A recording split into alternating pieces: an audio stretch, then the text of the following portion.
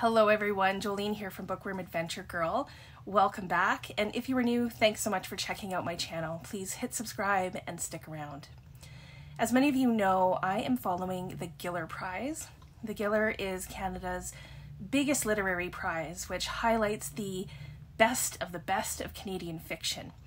And I had done a video sharing 12 of my hopefuls for the long list, and the long list was announced on September the 6th. And yes, I got up early and I watched it live as last year's winner Omar El-Akkad named the long listed authors and their books. So today I'm going to be taking a look at the long list and I will share some of my thoughts and my reactions. Uh, there were times that I cheered because I was very excited with the picks, and there were also a few surprises along the way. First, I want to share what the five members of the jury shared about uh, this year's long list. They said this As the world roils and rolls on in this strange new decade, the 2022 Scotiabank Giller Prize jury can report that Canadian fiction is only becoming more bountiful, energetic, meaningful, funny, and moving. The jury's discussions and debates throughout the year were nuanced and spirited, but most of all, we were continuously in awe of the cornucopia presented to us. We are proud to showcase a long list of 14 outstanding titles that are sweeping in scope, touch all corners of life, and which provide pleasure and stimulation, as well as urgency and depth. To the nominated authors, it is our delight and honor to say congratulations and thank you. So I thought that that was very nice. And I like that it seems they have chosen a long list that reflects a range of stories and voices. So I'm going to start with a couple of surprises. The first surprise is that they chose 14 books for the long list. So this is exciting because it's usually 12.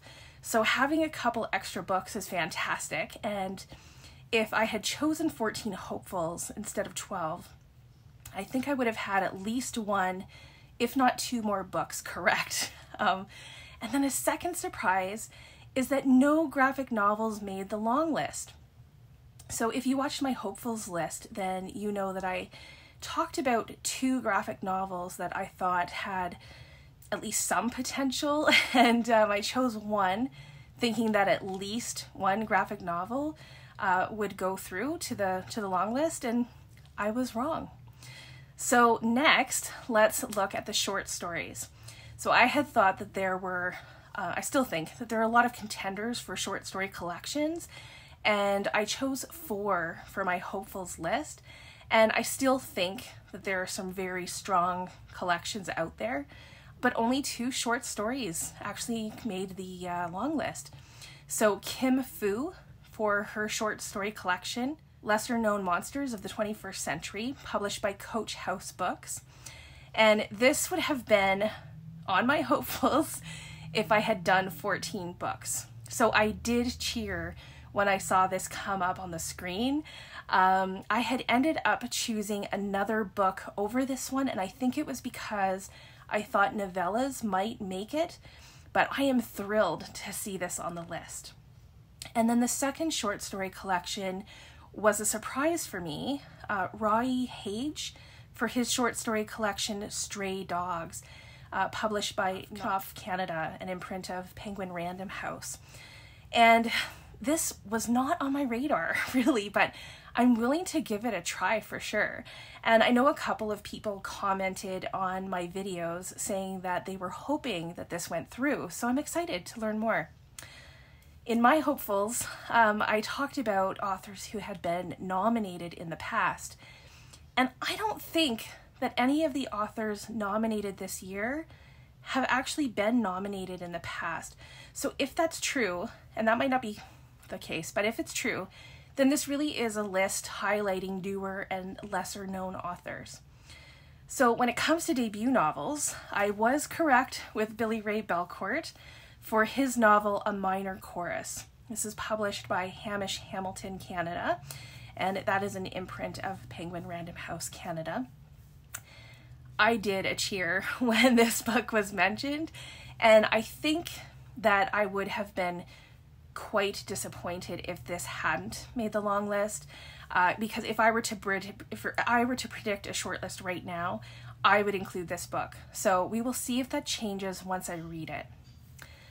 I also cheered when this next book was mentioned uh, because I put it on my hopefuls list as well, and that is Tsering Yangzom Lama for her novel We Measure the Earth with Our Bodies.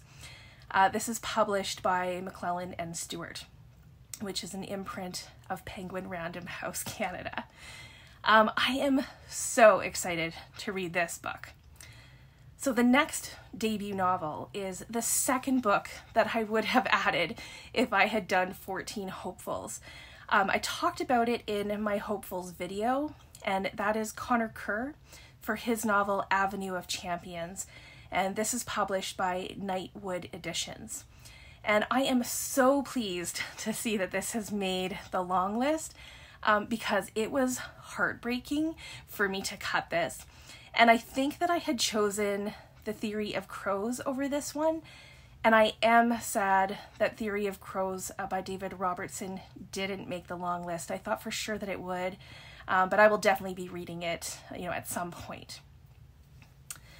Another long listed book that I took off my hopefuls list a little bit closer to the end was Brian Thomas Isaac for his debut novel, All the Quiet Places. This is published by Touchwood Editions. And this book was longlisted for Canada Reads earlier this year. So I knew about it and I've heard some really great things about it. So this is another one that I'm happy to see it longlisted and I will definitely try and read it. So next up are books that were on my radar, but for whatever reason didn't make it to my hopefuls list.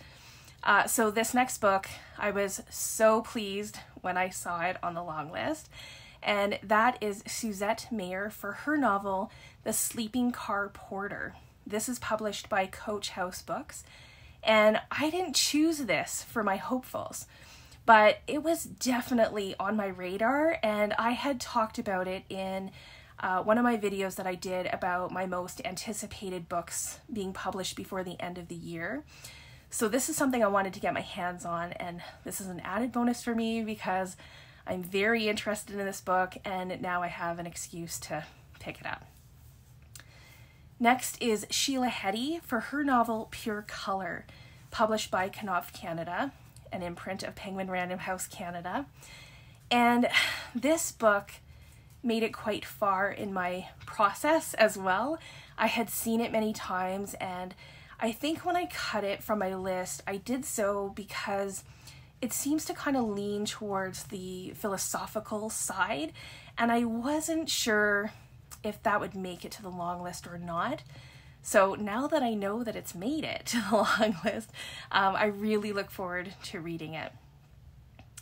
Fawn Parker for her novel What We Both Know, published by McClelland and Stewart. Um, this is also an imprint of Penguin Random House Canada. Um, and I actually I thought I owned this book, um, but it is on my radar, and I think it made it through several stages while I narrowed down my hopefuls list. I am interested in this book as it is compared to uh, my Dark Vanessa, which I loved but I think I didn't put it through because it was similar to some of the short story collections that I had chosen uh, to put on my hopefuls list. But since those didn't make the list, it kind of makes sense to me that this would. So I'm looking forward to this one too. Andre Narbonne for his novel Lucien and Olivia, uh, published by Black Moss Press. And when I looked back, I had highlighted this book. So, what does that mean that I highlighted it? Um, it means that I looked at this book more than just a couple times. I think what it came down to for me was that I had a hard time uh, getting too much information for this. Um, it was hard to find information about this book.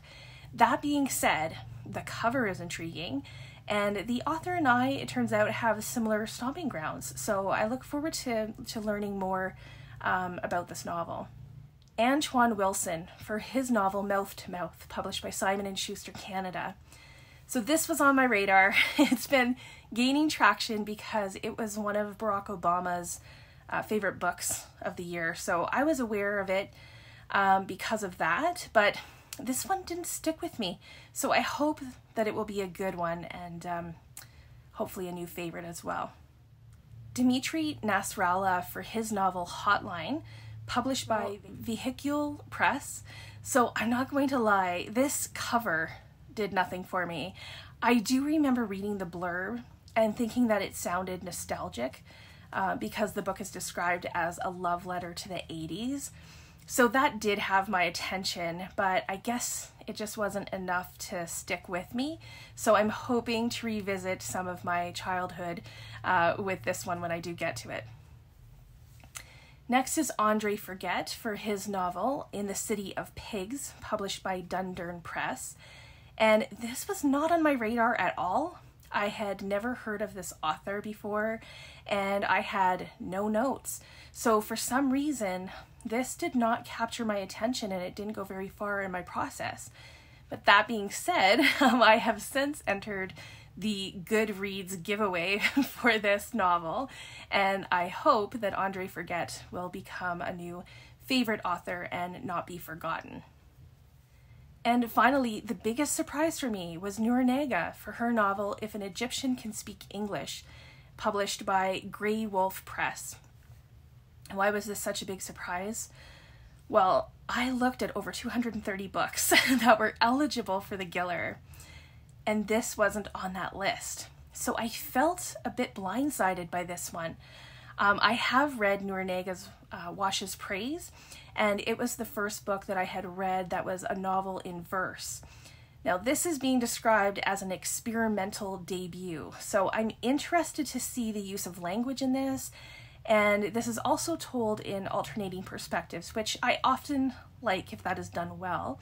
So it will be interesting to see how this novel differs or compares to Washes, Prays. So that is the Giller Prize long list for 2022. I too want to say congratulations to all of the authors who made the long list and a huge thank you to the jury members. That's got to be so difficult. Um, Canadian authors Casey Plett, Kai Kello, Waubgeshig Rice, and two American authors, Katie Kitamura and Scott Spencer. Um, that's got to be hard work in narrowing, narrowing down the long list to these 14 Canadian gems. So I think that there will be some really good reading ahead. I hope to read at least a few of these before the shortlist is announced, um, and the announcement for that will be on September the 27th. It's not a lot of time, really, but we will see what I can get read. Um, I will do a shortlist prediction probably the week before, and we'll see if I get any of those correct. And then the plan is to have all of the shortlist read before um, the winner is announced on November the 7th. So I am also part of the jury for the Shadow Giller. Um, that's along with Lindy from Lindy's Magpie Reads and Penny from Literary Hoarders. And I will leave links below so you can find both of them. And if you want to follow along, that would be great. So please let me know if you have read any of the books on the long list uh, which ones are your favorites? Which ones do you hope will make the short list? Do you have any surprises? Um, I look forward to chatting with you in the comments. Thanks again for watching. I hope you enjoy the rest of your day, and don't forget to make every day an adventure.